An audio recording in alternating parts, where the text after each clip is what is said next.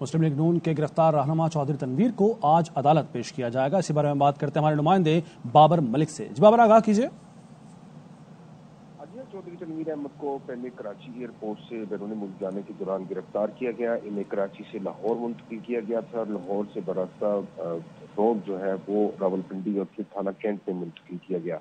रात भर उन्हें थाना कैंट पे रखा गया। है अब आज जो है, इन्हें इलाका मजिस्ट्रेट की अदालत में पेश किया जाएगा और जिसमानी रिमांड की इस्तः की जाएगी। यूँ एक दिन का इनको जिसमानी रिमांड मिलने का इम्कान है और मंडे के रोज जो है, बाकायदा तौर पर इन्हें इंतदादी रिश्वत से पानी की अदालत में एंटी करप्शन की अदालत में पेश किया जाएगा। मजीद कानूनी कार्रवाई और जिसमानी रिमांड के लिए यूँ रात भर यहाँ थाना कैंट के बाहर मुस्लिम लीग नून के कारकुन और इनकी जो। लीगल टीम वो मौजूद रही है। इस के ऊपर इन्होंने एहतजाज भी किया क्योंकि इनकी लीगल टीम का कहना है कि इन्हें इनसे मिलने नहीं दिया।